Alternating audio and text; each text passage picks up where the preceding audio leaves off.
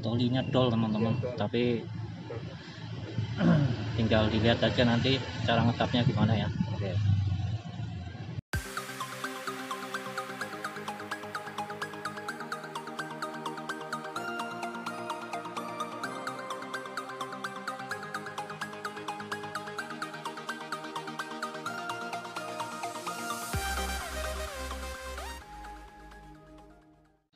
Oke, assalamualaikum warahmatullahi wabarakatuh. Ini ada motor Supra X.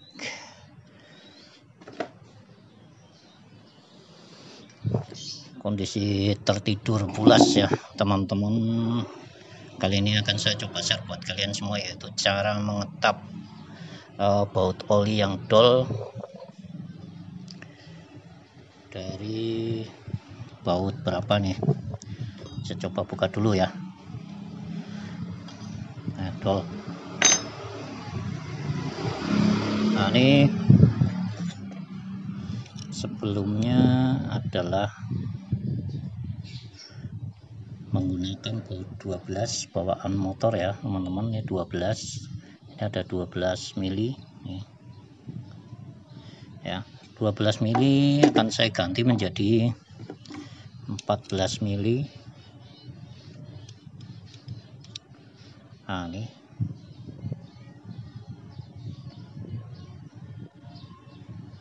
akan diganti menjadi 14 mili dengan menggunakan tab ukuran M14 1,25 mereknya seperti ini teman-teman. Ada tiga ya tiga seperti ini. Ntar ini tadi udah saya pasang. Nah ini caranya teman-teman. Di sini ada tiga sesi ya.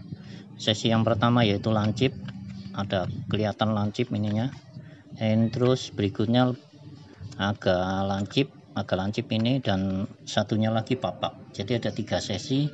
Yang pertama kita ambil yang ini dulu yang lancip dulu ya untuk membuat uh, jalurnya dulu membuka jalur ini. Keduanya adalah nanti ini yang semi papak. Perhatikan baik-baik sininya teman-teman ya. Kalau beli nah terus di sini ada yang papak sama sekali nih papak nih. Nah ini nanti untuk yang terakhir untuk finishingnya. Oke ya teman-teman ya caranya seperti apa saya tadi udah jelaskan. Jadi ini masih bawaan motor masih orinya uh, baut 12 akan saya ganti menjadi 14 ya. Kita ini ini masih standar teman-teman yang dol ini masih baut 12 kita langsung tancap aja pakai yang yang lebih lancip yaitu M M14 1, kali 1,25 M14 kali 1,25 teman-teman. Kita langsung dan saya menggunakan alat seperti ini. Ya gini. Oke. Seperti ini alatnya. Nah ini teman-teman caranya. Kita langsung tancap pelan-pelan sambil didorong ya. Ini. Oke simak teman-teman.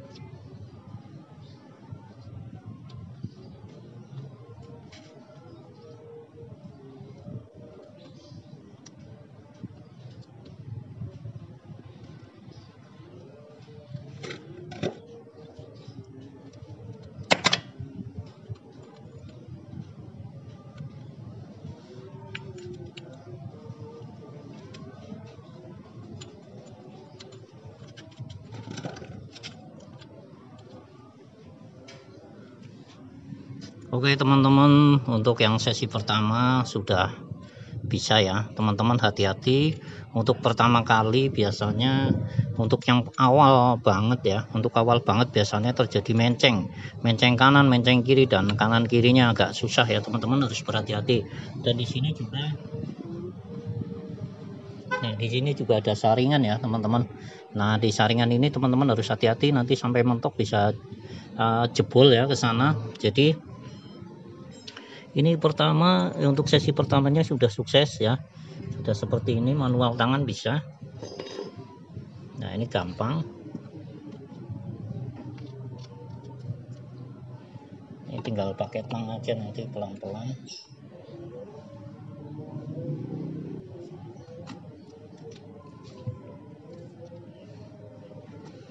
Pelan-pelan mutarnya untuk mengkondisikan ya teman-teman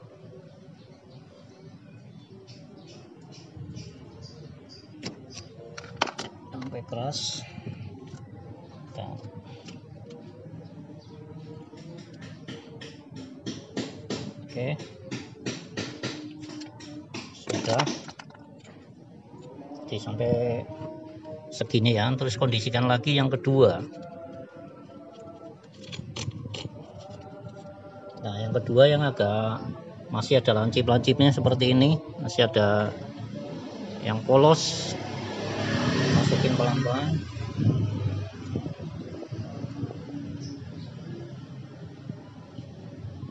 Nanti juga agak sedikit seret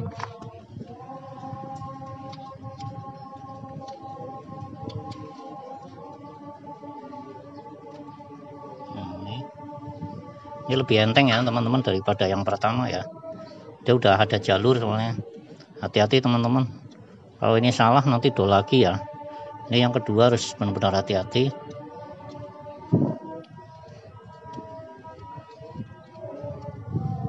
Hmm.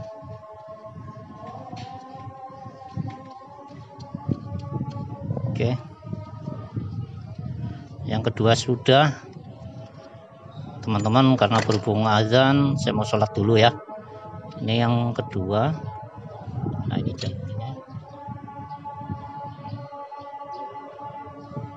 nanti tinggal yang ketiga dan finishing ya teman-teman. Oke ya stop dulu.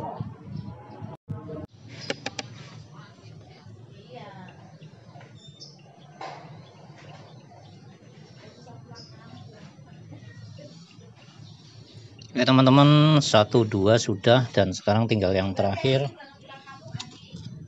Yang terakhir yaitu yang papak seperti ini ya. Eh sorry salah ngambil ya. Ini yang ini. Nah ini.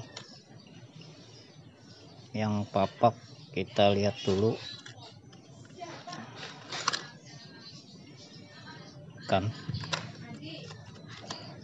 Kita bandingkan mana yang lebih papak ini ya. Yang sebelah kanan yang belum dipakai ini ada serat-seratnya sudah dipakai. Oke kita tinggal masukkan pelan-pelan. Kita masukkan pelan-pelan kita putar-putar ini udah ada jalur ya teman-teman harus pelan-pelan. Nah.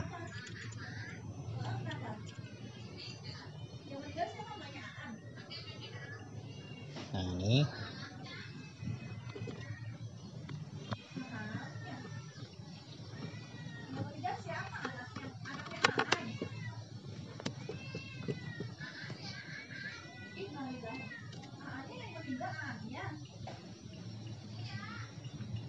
suka mainan adik.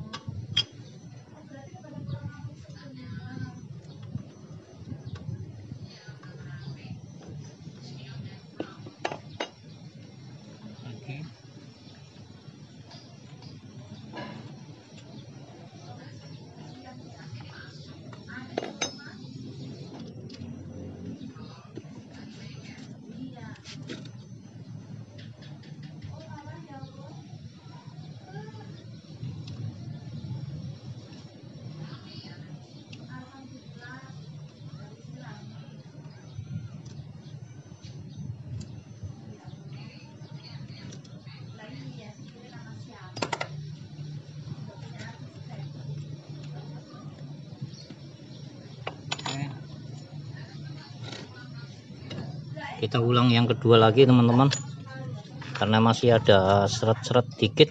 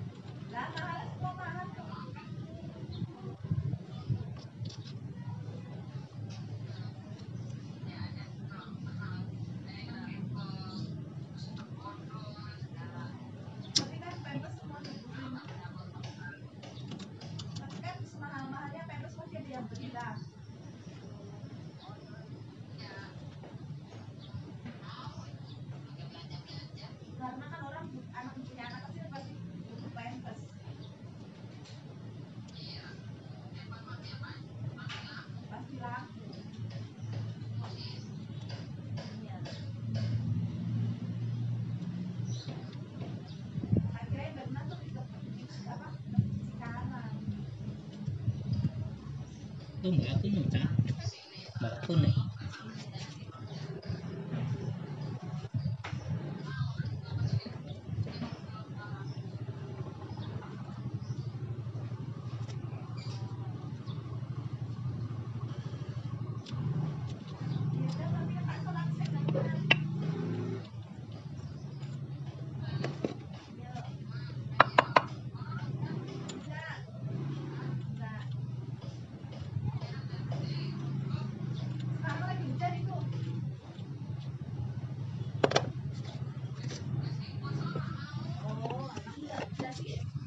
Gini ya caranya teman-teman diulang-ulang lagi. 1 2 3 1 2 3 3 2 1 terserah teman-teman. Intinya sampai benar-benar sudah ya, lancar diputar-putar udah gampang dan nanti tinggal nyoba dipasang bautnya. Itu ya caranya teman-teman.